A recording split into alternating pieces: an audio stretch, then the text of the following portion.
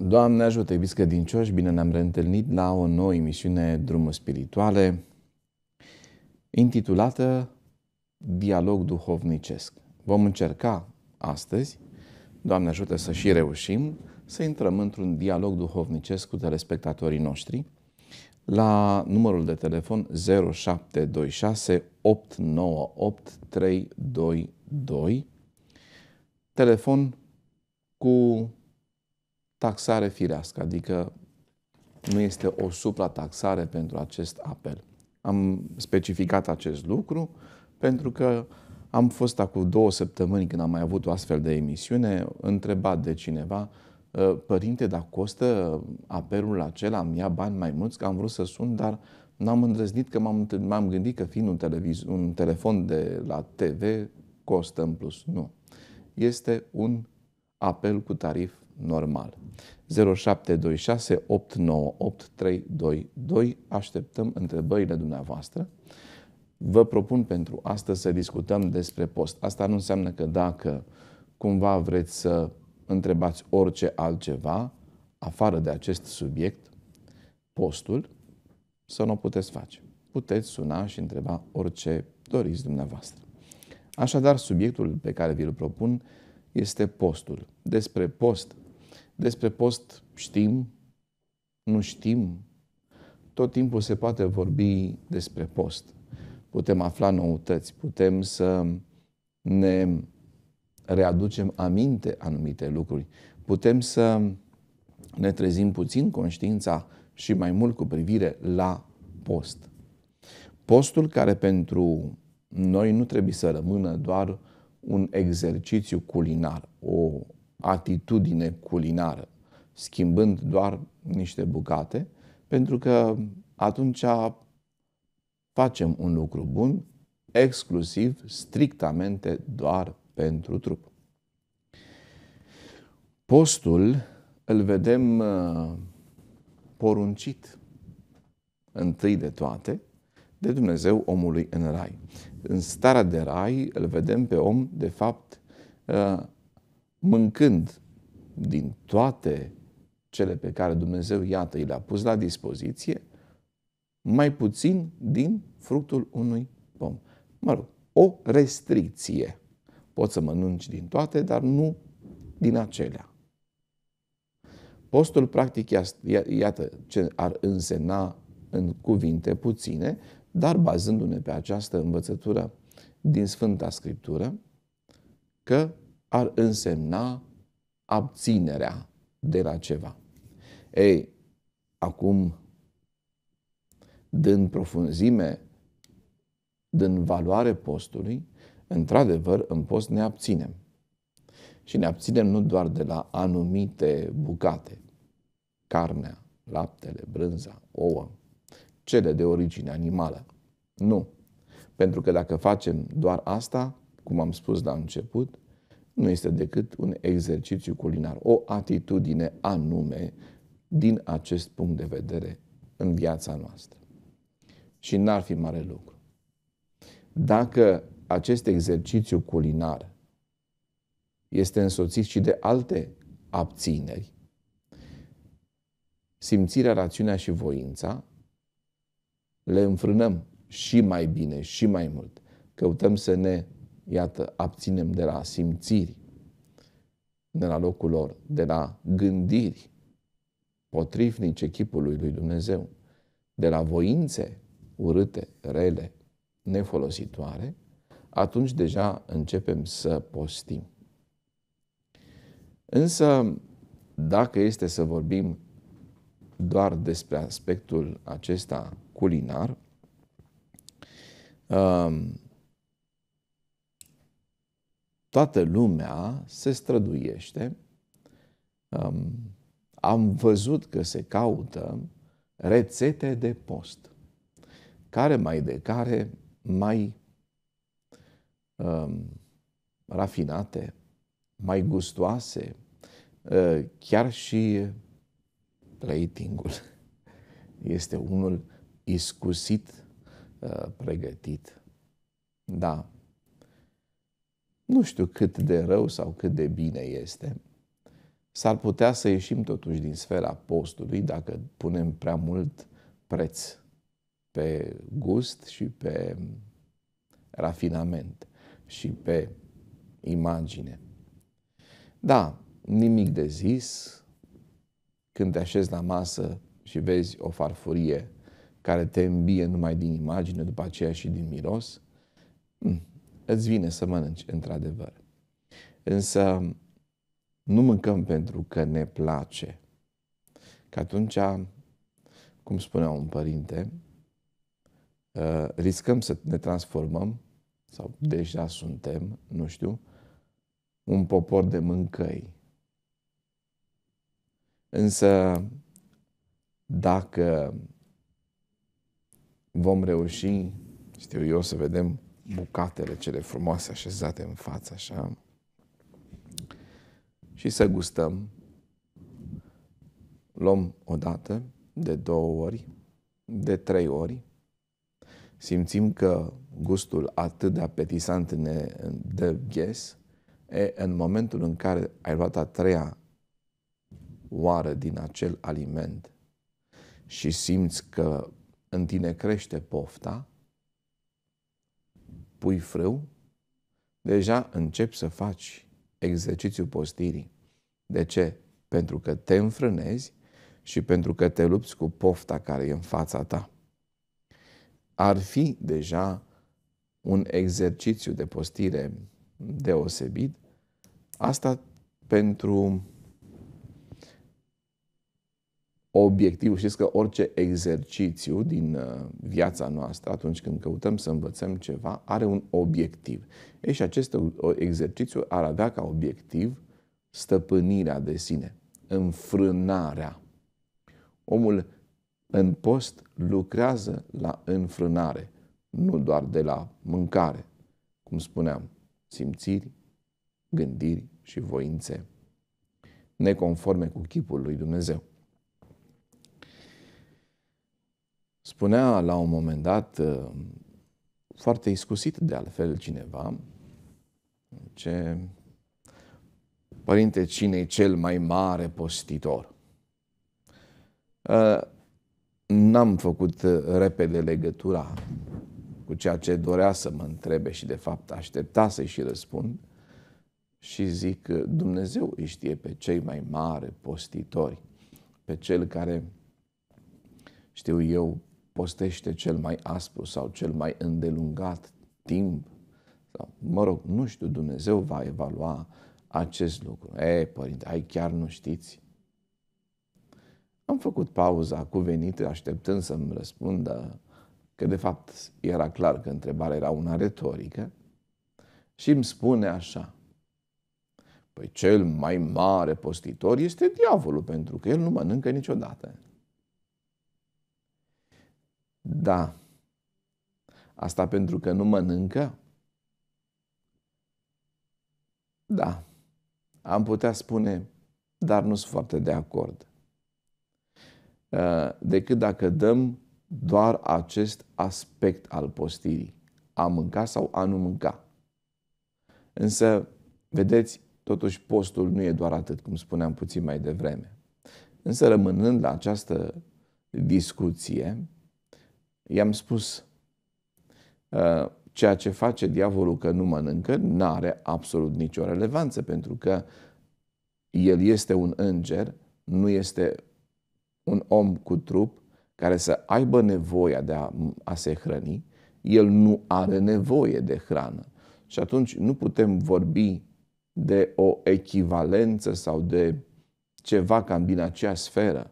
Postul diavolului înger fiind, nu mănâncă niciodată, nu are nevoie, nu are această nevoie, pe când omul care are nevoie de a mânca, are nevoia de a mânca și această nevoie și-o șlefuiește, și-o înfrânează, și-o direcționează, și-o smerește adânc, atunci postirea omului chiar are valoare înaintea lui Dumnezeu. Un om care n-ar mânca deloc, sau multă, pentru o bucată de vreme nu ar mânca deloc, este biruitor cu mult împotriva diavolului pentru că face ceva ce diavolul nu este capabil pentru că nu e în firea lui să facă acest lucru. Da, e interesant să spui că diavolul este cel mai mare postitor pentru că nu mănâncă. Sună cumva bine, dar nu e un adevăr profund și atunci el, dacă am luat în calcul, el nu mănâncă, noi mâncăm sau mâncăm foarte puțin când postim, sau mâncăm o perioadă, sau nu mâncăm deloc o perioadă scurtă de timp, o zi, trei, șapte, patruzeci, da? fiecare după puterea lor, uh, însă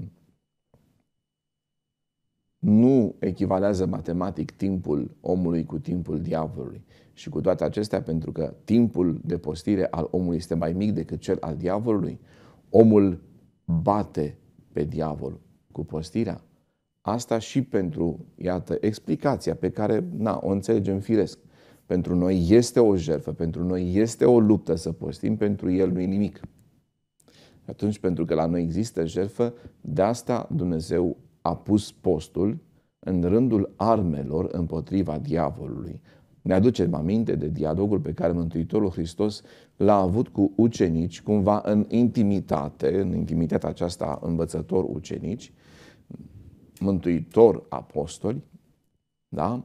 la momentul în care, după ce, încercând mai întâi de toate să meargă la apostoli, un tată necăjit cu, cu fiul uh, posedat, uh, apostolii n-au putut să alunge pe demon, ajunge în cele din urmă la Mântuitorul care, mă rog, îi dăruiește copilul vindecat tatălui, iar apostolii mai apoi vin în intimitate și îl întreabă pe Mântuitorul, dar noi de ce n-am putut? De ce n-am putut să-l alungăm? Pentru că acest soi de demoni, această înrăurire, da, este alungată cu post și cu rugăciune. Acest soi de demoni ies cu post și cu rugăciune, cuvintele Mântuitorului Hristos. Așadar, răul din viața omului este alungat cu postul și cu rugăciunea. Și dacă rămânem în continuare pe discuția cu post, despre post și despre consecința aceasta a alungării a ce este rău, alungăm ce este rău și din trup și din suflet, pentru că omul este trup și suflet. Când postim, alungăm tot ce este toxină în organism. Este un lucru rău pentru sănătate. Dar alungăm din minte, din simțire, din rațiune și din voință cele rele.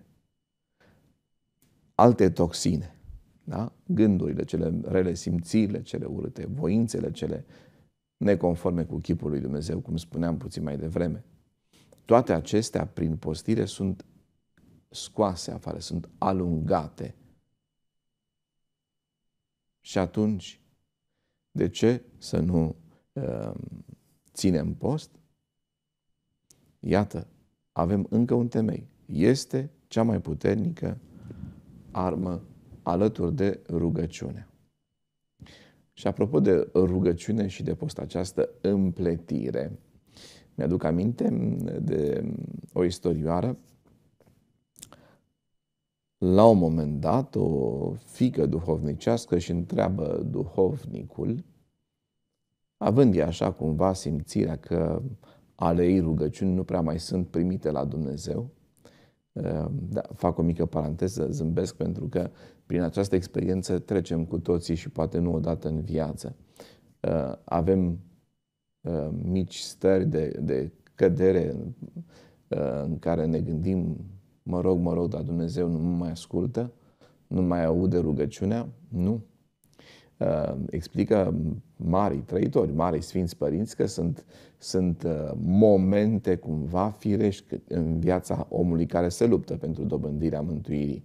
Uh, ca omul să-și întețească rugăciunea, să-și întețească focul rugăciunii, lupta lăuntrică în dorința de a simți din nou harul lui Dumnezeu, care nu este ridicat, nu este luat de la om, dar uh, acea mângâiere pe care omul o simte când, uh, când se roagă cu adevărat, uneori nu o simțim fie datorită împietririi, răutăților noastre, de moment micilor păcate și de aceea nu reușim.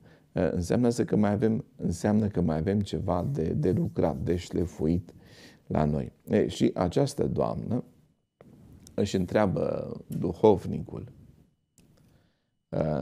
Părinte,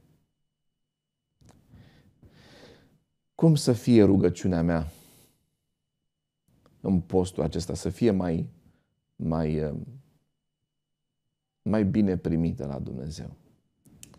Și atunci părintele gândește că cea mai bună modalitate de a-i răspunde este cea pe care Mântuitorul a folosit-o și pe care Evanghelia o surprinde foarte bine, foarte mult chiar Evanghelia de la Luca, nu? În modul acesta de a vorbi în pilde, în istorioare.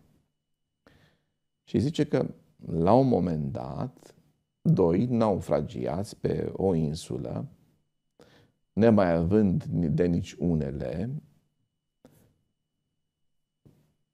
firească le-a fost uh, gândirea să ceară, să ceară ajutorul de la Dumnezeu. Fiecare se ruga în felul lui.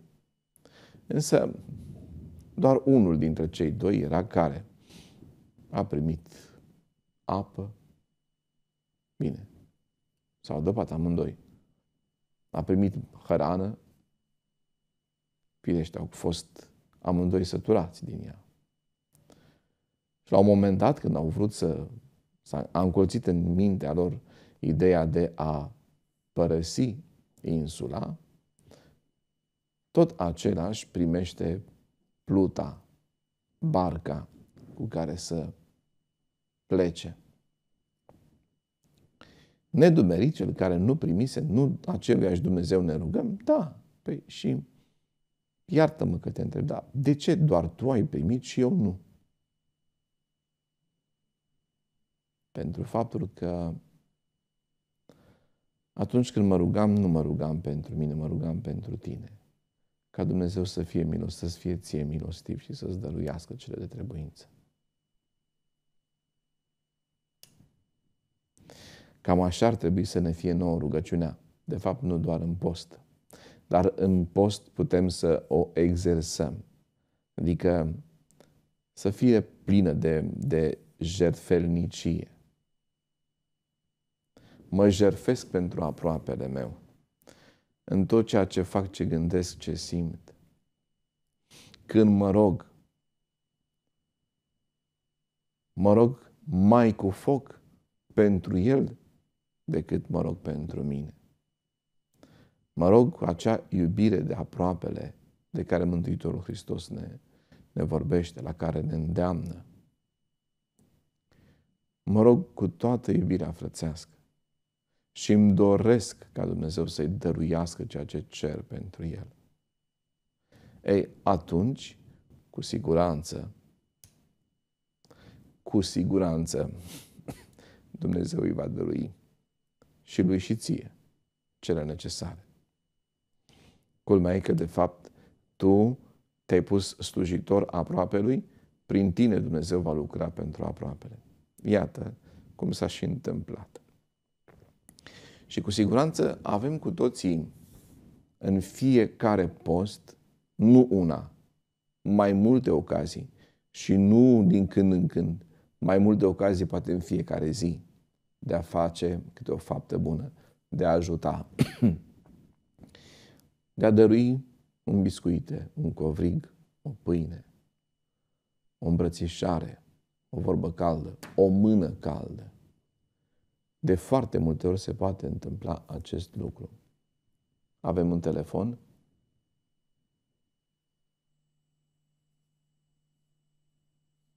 Alo? Ah, alo? Da? Doamne ajută să rămână. Doamne ajută. Aș vrea să completez ceva din Constanța, vă deranjez, legat de cine este cel mai mare postitor. Vă rog. Ca o completare, Părintele Sofian Boghiu ne spune postul, dacă nu este făcut cu dreaptă socoteală, ca să fie într-adevăr de folos, neunit cu bunătatea inimii, cu paza gurii, cu abținerea de a o Stați, stați, stați, stați, stați, stați, stați puțin. Vă rog frumos, haideți să notez și eu. să-mi notez și eu că îmi place ce spuneți, luați-o de la capăt. Postul, cu bună chipzuință. O să înregistrez și vi-l dau. Nu, nu, nu, nu, că îl discutăm acum în emisiune. Îmi place ce spuneți. Deci, postul cu bună chipzuință. Deci căutați pe... Haideți să discutăm. Doamnă scumpă, vă rog frumos, aveți curaj. Spuneți că îmi place ce spuneți. Curaj.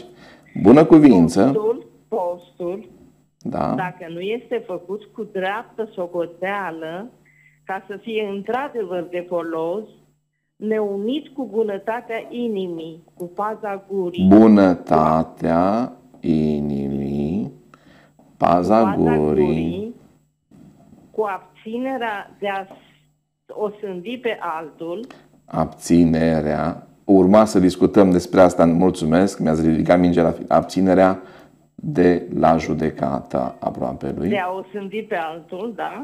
A, eu Lucru și-am foarte notat. vinovat înaintea lui Dumnezeu. Stați puțin. Deci abținerea de la judecata aproape lui.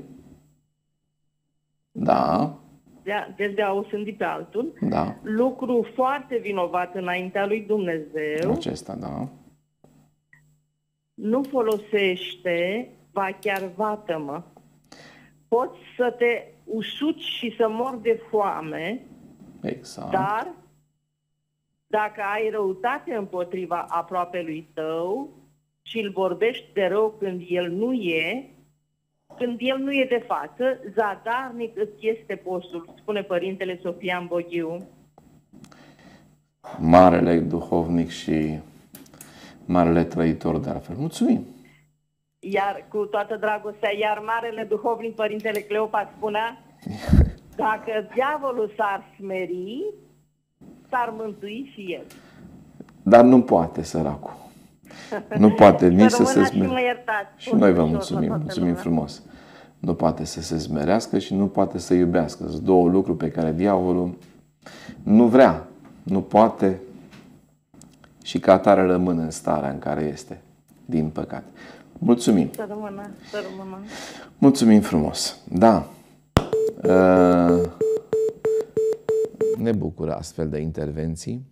Uh, e clar că cei care ne urmăresc sunt, sunt atenți și asta e foarte frumos. Paza gurii și abținerea de la judecata aproapelui, uh, care răstoarnă toată asceza de subțiere. Mă rog, aveam să discutăm în continuare, dar Doamna ne-a luat-o puțin înainte și mă bucur. Deci așa mi-ar plăcea să fie toate emisiunile int- intitulate Dialog Duhovnicesc. Da. Uh, De multe ori întâlnim postitori care, datorită luptei interioare pe care o poartă, se aprind mai repede. Se aprind mai repede la judecata aproape lui, se aprind mai repede la vorbă, um, sunt înverșunați chiar câteodată, nu-și înfrânează nici inima și își strică postirea chiar dacă este una, iată, de mare abținere. În momentul în care spunea un alt părinte puțin mai dur, s-ar putea, cumva legat și de cele pe care le spuneam la începutul emisiunii, s-ar putea ca atunci când, postind, zici tu, începi să judeci pe aproapele, să fii guraliv, să vorbești într-una, să ai inimă grea sau rea, să ai, să ai supărare pe cineva, să ai judecată, să fii osânditor la adresa cuiva, tot ce faci tu să fie drăcesc. De ce? Pentru că și diavolul, rămânând în cheia aceea de care vorbeam puțin mai devreme, diavolul nu mănâncă, dar vorbește într-una la urechea omului, căutând să-l tragă la cele rele, la judecată, la osândire. Iar tu, făcând voia lui, iată, duci postul tău în direcția greșită. îl devalidezi, l-ai stricat. Așadar, un post autentic ar fi, iată cum ne învață Părintele Sofia Boghiu, întâi de toate să fii un om cu bunătate, cu inimă bună. Și exercițiul acesta al postirii va avea acest obiectiv de a-ți fixa starea de om cu inimă bună, nu doar pe perioada postului. Postul poate să fie un exercițiu cu mult mai multă atenție asupra acestui lucru. Ne înfrânăm vorbirea. Ne dă ghez de multe ori uh, pretinsa, păruta despre noi înțelepciune, să vorbim și să vorbim multe, multe și nevrute, multe care mai apoi și le regretăm pentru că în curgerea lor ajung să fie nu un izvoraș smerit, uh, fluviu de, și nu un izvor mic și smerit de bunătate, ci fluviu de răutate, mâine, poi mâine, în curgerea aceasta a vorbei. L-am închis un pic în timpul postirii și căutăm, de fapt, să vorbim, că să, dar cum? În taină cu Hristos. Și vorbim în taină cu Hristos despre aproapele nu-i vorbim aproapelui, cât vorbim lui Dumnezeu despre aproapele. Pentru că, iată, ne măsurăm vorba. Abținerea de la judecata aproapelui, de la osândire, de la, um, da, îl judeci, îl osândești, îi vezi greșeala.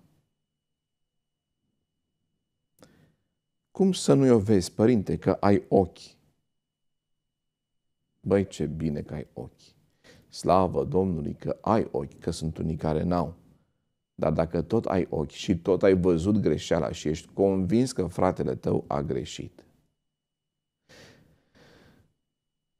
ce avem de făcut în momentul acesta? O spun pentru noi toți, nu spun doar pentru telespectatori. Întâi de toate o spun și pentru mine. Ce avem de făcut atunci când vedem că fratele nostru greșește? să zăbovim puțin și să ne măsurăm și să ne cântărim bine simțirea, rațiunea și voința. Ce avem de făcut cu privire la atitudinea greșită, la fapta greșită a fratelui nostru? Îl iubim? Nu e vrăjmașul nostru, e fratele nostru. Îl iubim. Ne rugăm pentru el. Plângem pentru el. Îi dăm un sfat. Mergem și discutăm cu el cel mai mult vorbim cu El. Sau, în cele din urmă, legat de acel ultim punct din, uh, din sfatul uh, Părintelui Sofian Boghiu, uh, în care stipula așa, vorbirea de rău a aproape lui pe la spate, pe la spatele lui, nu în prezența lui. Poți să-i spui fratelui tău că greșește, dar în față. E o datorie evanghelică de altfel. Când fratele tău greșește, se admite și în Evanghelie că poți să vezi greșeala fratelui tău, dar ți se spune ce ai de făcut. În primul și în primul rând, rând nu abdici de la iubire. Iubindu-l, plângi pentru el, te rogi pentru el și faci ce spune Evanghelia, îl mustri între patru ochi. Cauți să-l îndrepți, îi arăți unde greșește. În a doua instanță, în situația în care nu te ascultă, dar tot cu el de față, mai aduci doi sau trei ca să se întemeieze mai solid cuvântul tău. Ultima instanță a îndreptării fratelui pe care îl iubești și care îl vezi că greșește, dar îl iubești și vrei să se îndrepte,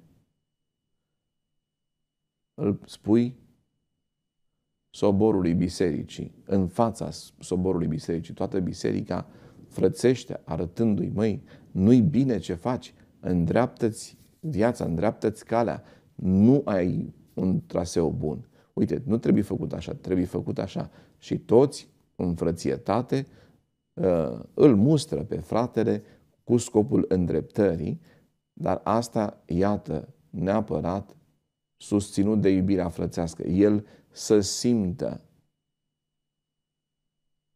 iubirea ta, iubirea voastră.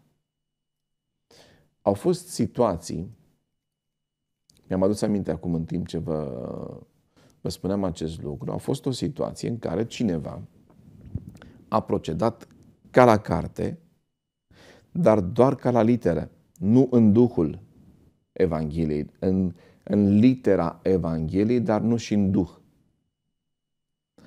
A procedat, s-a dus și l-a mustrat între patru ochi.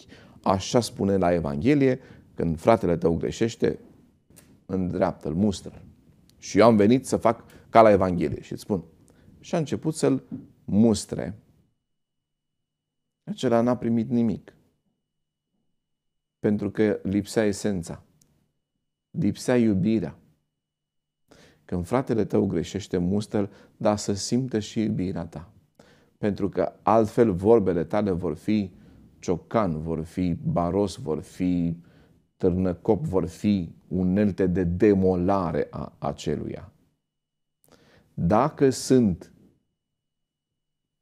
încărcate de iubire, vor fi pensule, mături, unelte de curățit, de șlefuit, de luminat. Și, făcând acel lucru, ă, n-a obținut firește în primă instanță îndreptarea fratelui. S-a dus, ă, a mai chemat doi prieteni comuni, erau toți patru și toți trei s-au pus pe capul lui și îl tocau și uh, îi spuneau că nu-i bine, uh, mustrare din aceea fără pic de iubire. Mai rău, s-a, s-a, aproape că s-a împietrit omul acela. După care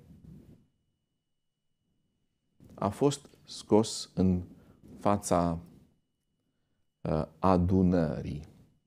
Și o să vedeți de ce am folosit cuvântul adunării. În adunare s-au pus pe capul lui și l-au mustrat, l-au osândit, i-au pus etichetă urâtă și atunci acela, săracul, a părăsit acea obște. E vorba de ortodoxi, dar niște ortodoxi care se cred ei mai cumoți. Și acel om a părăsit acea adunare de ortodoxi mai cumoți. Slavă Domnului că Hristos nu l-a pierdut. Ce s-a întâmplat cu acela? A alergat plângând la spovedit. Încărcat la suflet. Am făcut asta și m-a mustrat și m-a spus și altora și m-a, m-au, m-au osândit cu toții. Dar Hristos ce zice? I-a zis părintele.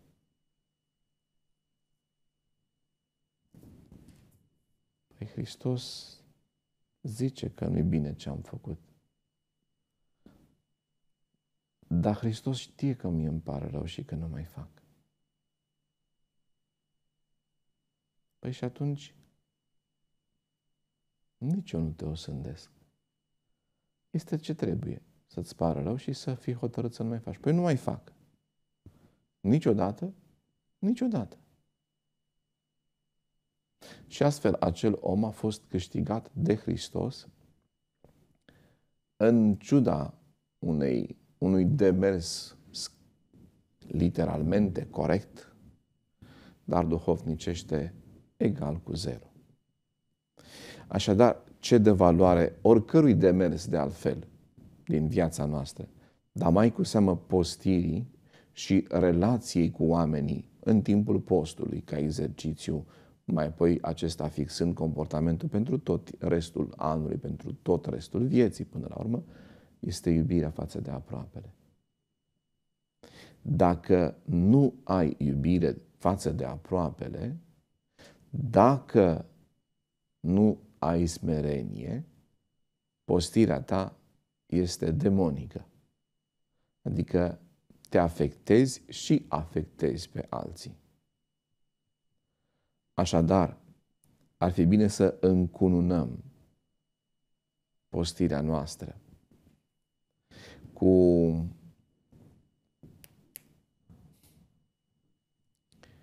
cu smerenie și cu iubire. În timpul postului, omul într-adevăr face fapte bune și se roagă. Știm bine cât de, de mare folos este ca postul să fie în, împletit armonios cu, postul, cu rugăciunea și cu faptele bune. Dar rugăciunea și faptele bune și postirea ta, dacă nu sunt cu smerenie și cu iubire, n-au niciun, nicio valoare. Se poate oare omul să se roage, să postească și să facă fapte bune, având mândrie și urând, disprețuind? Da. Cum? Face fapte bune cu săracul pe care oricum îl disprețuiește. Dar face faptă bună că trebuie să facă faptă bună că e post. Eventual mai face și o fotografie, un selfie acolo, să se arate pe sine ca mare făptuitor de acte de caritate. Și iată cum îl judecă și îl osândește și nici nu-l iubește pe cel cu care face fapta bună, păgubindu-se. Nu mai vorbim că lipsește smerenia. Un om care face faptă bună este smerit. De ce? Pentru că ceea ce dăruiește, nu dăruiește de la sine. Dăruirea smerită este nu eu îți dau de la mine, ci Hristos ne-a dat. Am spus puțin mai devreme, s-a rugat pentru acela, nu pentru sine. Și eu când fac fapta bună și dăruiesc, asta e limba română.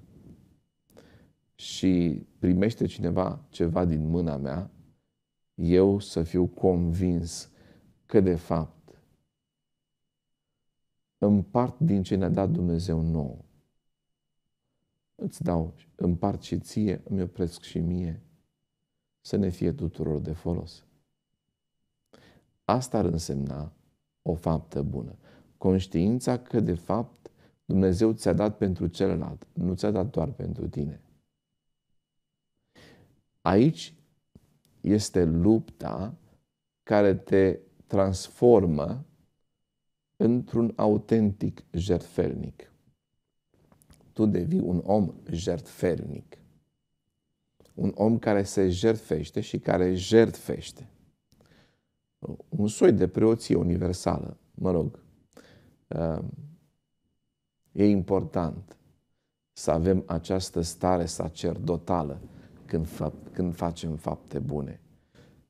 Pentru că, hai să ne gândim, preotul, când dăruiește cel mai mare dar pe care îl dă preotul, ce este? Hristos. Cu câtă emoție îl dă pe Hristos care s-a dat lui spre dăruire mai departe. Cu maximă bucurie. Și nu-l dă pe Hristosul lui. E al meu, Hristos, hai să vă dau și vouă. Nu.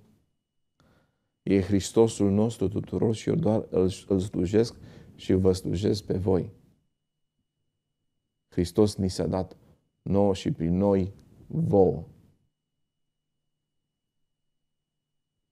Spunem într-o ultimă rugăciune înainte de a ne împărtăși preoții,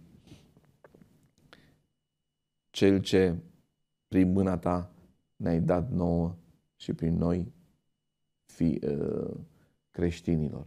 Se dă prin noi lor, El se dă. Deci, cine face acțiunea de dăruire, de fapt, este Hristos.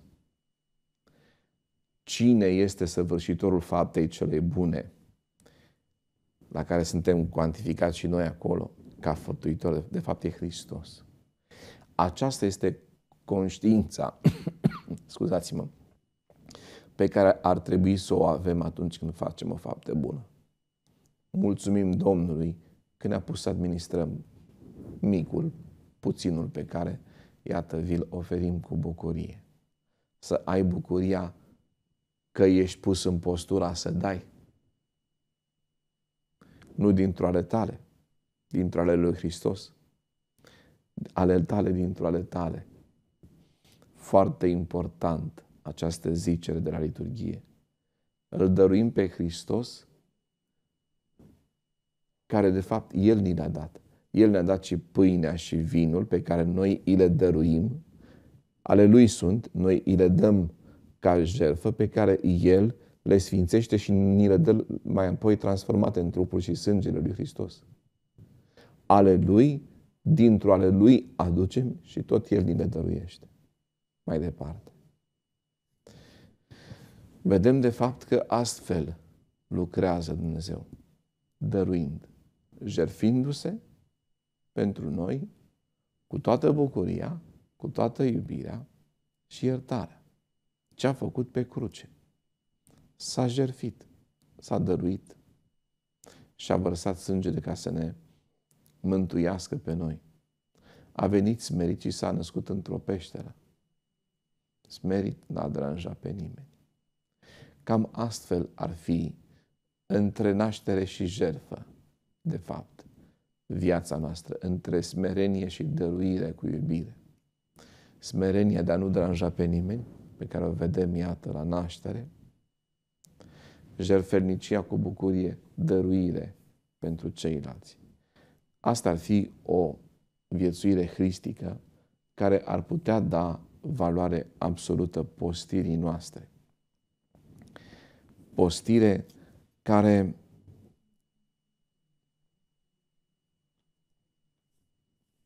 nu poate fi doar un exercițiu de asceză. Pentru că mulți uh, vorbesc despre post, cum spuneam la începutul emisiunii, uh, în uh, rețete de bucate, în cantități, în uh, programe de nutriție. Postul nu este doar atât. Sau nici măcar unul terapeutic doar pentru trup. Terapia postului este pentru om. Omul este trup și suflet. Postul este terapeutic nu pentru trup. Postul este terapeutic pentru om. Este trup, este și suflet. Dăm toxinele afară din trup, dar dăm afară toxinele din minte, din inimă, curățim simțirea, rațiunea și voința. Și astfel, prin postire, putem să restaurăm cele trei nu compun altceva decât chipul lui Dumnezeu. Simțirea, rațiunea și voința compun chipul lui Dumnezeu din noi, pe care îl curățim. L-am schimonosit cu tot felul de lucruri urâte, le dăm la o parte. Ne restaurăm chipul lui Dumnezeu și atunci Dumnezeu se va recunoaște pe sine în noi în chipul cel restaurat. Iată, postul poate să facă aceasta, să ne curățească, să ne facă să strălucim din nou de dumnezeire, dacă este ținut cum se cuvine, nu doar din bucate, ci și iubind pe aproapele, ci reiau punctele cu dreaptă socoteală, cu inimă bună, cu paza gurii, și cu neosândirea lui, pe care, dacă îl judecăm, o facem între patru ochi, nu în absența lui. Să luăm aminte să ne fie de folos. Doamne ajută, iubiți credincioși!